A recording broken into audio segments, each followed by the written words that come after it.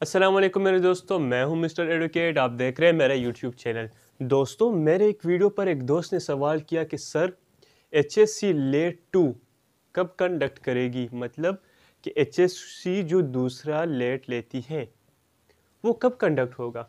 मेरे दोस्तों, सबसे पहले मैं आपको एच एस सी का एक शेड्यूल बताता चलूँ। एच एस सी साल में तीन मरतबा लेट लेती थी।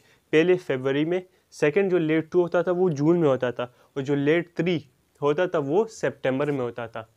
जैसे कि आपको मालूम है कि कोरोना वायरस की वजह से जो नाइन फरवरी का लेट टेस्ट हो गया था, उसका पार्ट वन का रिज़ल्ट तो आया, लेकिन पार्ट टू का रिज़ल्ट भी डिले हो चुका है।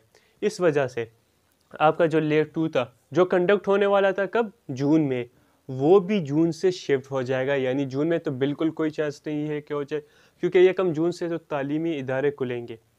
इसके अलावा आपका जो टेस्ट है, वो चांसेस है कि जुलाई में हो, लेकिन जुलाई के भी एंड में। यानी फिफ्टीन के बाद, जुलाई के जो लास्ट वीक से ना, उसमें चांसेस है कि आपका जो लेट टू है, वो कंडक्ट हो जाए। जून से वो जुलाई में शिफ्ट हो जाएगा।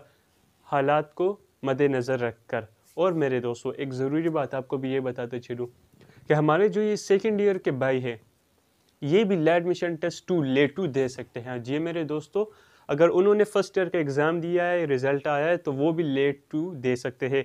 अक्सर भाई ये क्या कर लेते हैं, उनसे ये चांस मिस हो जाता है। जब उनसे ये चांस मिस हो जाता है तो फिर वो लेट थ्री का इंतज़ार करते हैं। जब लेट थ्री आ जाता है तो ला कॉलेजेस के एडमिशन उस टाइम तक क्लोज़ हो चुके होते हैं। तो फिर उनका साल भी ज़ाया हो जाता है। तो आपने इस बात का ज़रूरी ख्याल रखना है।